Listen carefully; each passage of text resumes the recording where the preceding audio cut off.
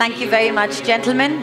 We wish you a very happy new year. And of course, we wish Tata Motors a beautiful 2017. Well, I was told that every single day, okay? Thank you. How's that? इनके लिए थोड़ी तालियां ho jaye. Chief guest of the evening. Ladies and gentlemen, it's time for us to hear a very special, a very personal message this evening from the CEO and the Managing Director, uh, Director of Tata Motors, Mr. Gunter Butchek. So ladies and gentlemen, are you ready to welcome on stage Tata Zenon Yoda, our brand ambassador, the iconic star, Mr. Akshay Kumar.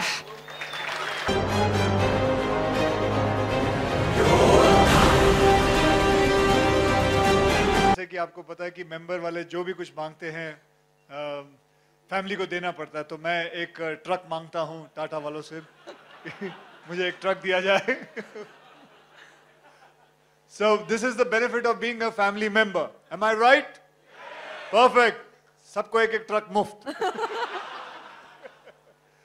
आप, आपको ज़रूर देंगे अगर आप अपने film में उसको use करोगे तो। आपको ज़रूर हाँ जी फ़िल्म में बिल्कुल। तो पक्की बात है जी मेरा वादा है कि हमें ट्रक दिया जाएगा हम उसे फ़िल्म के अंदर डालेंगे। क्योंकि वैसे भी फ़िल्मों में कौन सा ट्रक यूज़ होता है? टाटा ही यूज़ होता है।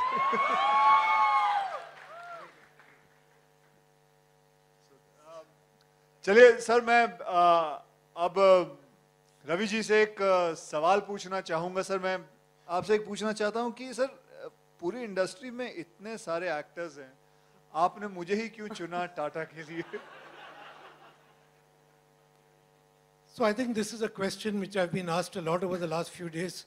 Even today morning we had some media interaction. And I think not only you, everybody is waiting to listen to the answer. So let me say that our starting point was not even that we need to use a celebrity. But over the years, especially the last three to five years, we have been continuously brainstorming to project a more dynamic and vibrant brand image for Tata, what are the things we need to do? So when the idea of a celebrity came up, we said, okay, try kar dete hain. So we said, let's do some research. So we did some research with our customers. Everything we do, including the product we're launching here, is based on the research and the feedback we get from them. So we started doing some research where we went to 16 cities, 10,000 members. Let me not do it like this. Let me do it filmy style.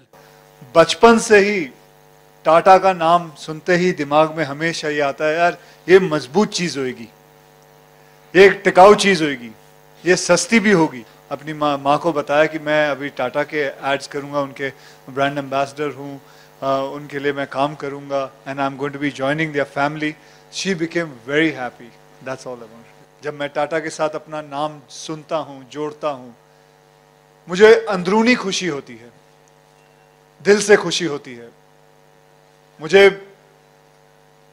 अपने बचपन के सारे दिन याद आते हैं।